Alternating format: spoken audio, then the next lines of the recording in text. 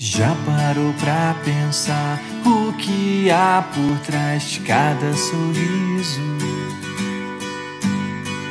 Já parou pra olhar a pessoa que você ama dormindo?